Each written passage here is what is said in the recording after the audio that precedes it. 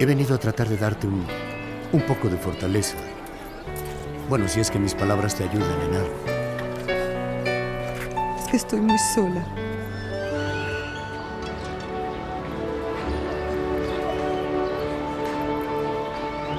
Otra vez separados. Quizás sea lo mejor. No debo empeñarme en buscarla.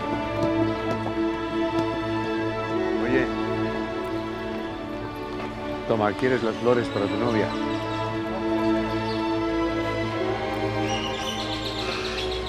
Vuelvo a mi trabajo y a pensar en Cristina y en mis hijos. Y Alondra, doña Mercedes, ¿qué sabe de ella?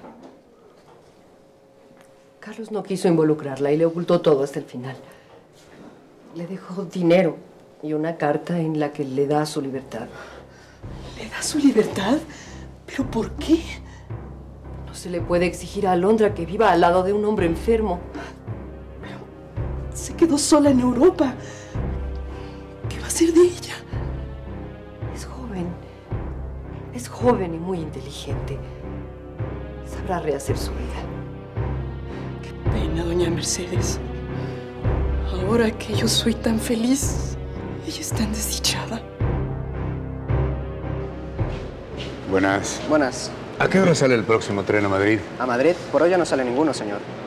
¿Cómo? Hace un mes yo tomé el tren nocturno. Pero no habrá sido en viernes, señor. Los viernes y los miércoles no hay corrida nocturna. Entonces será para mañana temprano. Pues sí, señor. ¿Usted me puede vender el boleto? Mañana mismo lo puede comprar. Bueno, pues tendré que quedarme a dormir esta noche en Santander. Y no se arrepentirá, señor, porque Santander es muy alegre de noche, sobre todo en este tiempo de verano en que la gente viene a la playa. Bueno, pues muchas gracias. Por nada, señor. Le doy la oportunidad de decirme la verdad. De lo contrario, lo llevarán ante el juez. Y espero que entonces no esté tan sonriente. Quiere saber la verdad.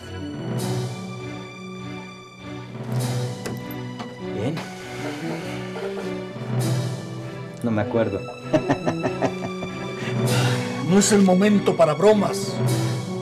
¿Reconoce este reloj? ¿Cómo no? Es el que le regalé a don Alfredo. ¿Para qué se lo quitaron? Estaba muy contento con el relojito. Y estos aretes y este collar son parte de las joyas robadas. ¿Dónde están las demás? Había más. Búsquelas. Yo no las tengo. Salí del trabajo cansada. Más que físicamente, estaba destrozada en lo moral. María Elisa no contestaba. No sabía nada de Carlos. ¿Qué iba a hacer yo sola en España? ¿Para qué me había quedado ahí?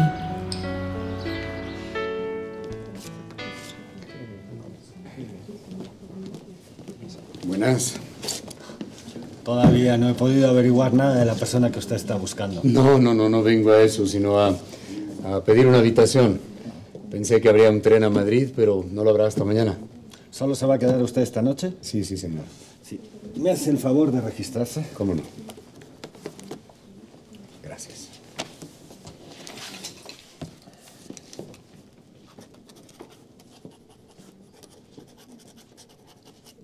Eso es todo, ¿verdad? Sí, muchas gracias. Aquí tiene su llave. Gracias. Habitación 25. La misma que tenía Alondra cuando vine a buscarla. Miguel, ayuda al señor con su equipaje. Enseguida. Perdone, señor. Eh, ¿No es usted la persona que vino hace un rato a preguntar por la señora Alondra? Sí, yo soy. Salí corriendo a la calle, pero ya no le vi.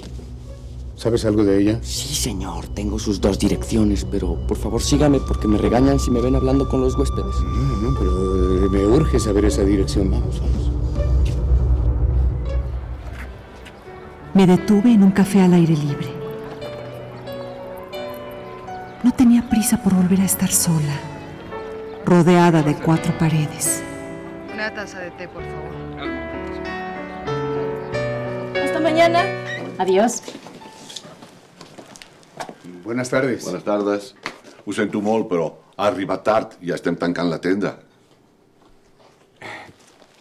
Perdone, ¿aquí trabaja la señora Alondra Díaz? Eh, Sí, señor. Salió hace un momento. No debe estar muy lejos. Y mire, se fue saliendo de la tienda a la derecha. Gracias. De nada. Buenas tardes. A reveure. Con permiso. Que vagi bé. Qui serà aquest home? Me imagino que el marido. Esa muchacha tiene algún problema. Le he visto algunas veces llorando. Algun disgust matrimonial que sempre s'arregla amb petons. Escuchaba las campanas de la iglesia. Recordé las de San Miguel y aquella época en que era tan feliz con mi padre y mis ojos no habían llorado tanto como ahora.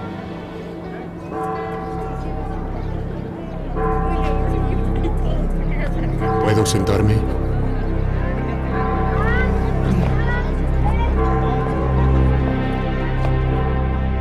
¿Por qué escondió estas alhajas en el sótano de su casa? Lleva usted toda la tarde diciéndome que en algún lado tenía que esconderlas. Le aseguro que yo no las robé ni maté a nadie. ¿Cuántas veces se lo tengo que repetir? Si no lo hizo, ¿cómo explica que estén en su poder? Porque me las encontré tiradas en un basurero. Un basurero. No supondrá que voy a creerle. Usted también se ríe, ¿verdad? No me va a creer nada. Espero que con el juez siga conservando ese buen humor, porque le va a hacer mucha falta. Mire, mi buen humor es lo único que me queda. Así es que no trate usted de quitármelo. Hubiera sido mejor que se metiera de cómico y no robar joyerías ni matar a gente inocente. Mire, pues debió usted darme ese consejo a tiempo, señor. Que ahora ya es muy tarde para seguirlo.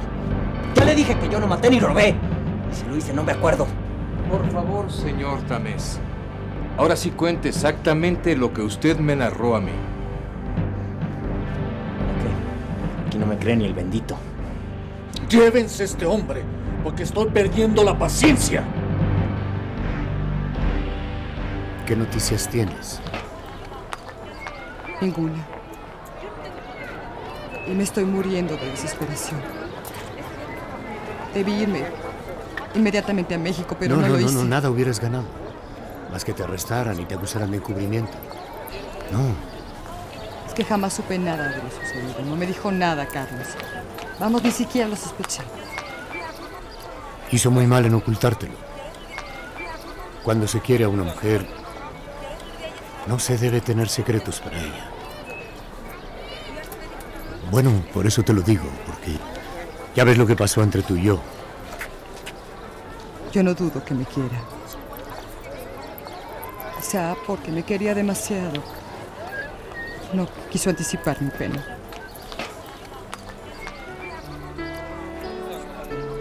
Por favor, no llores.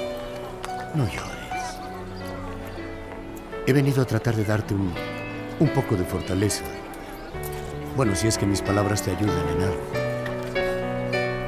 Es que estoy muy sola. Muy sola.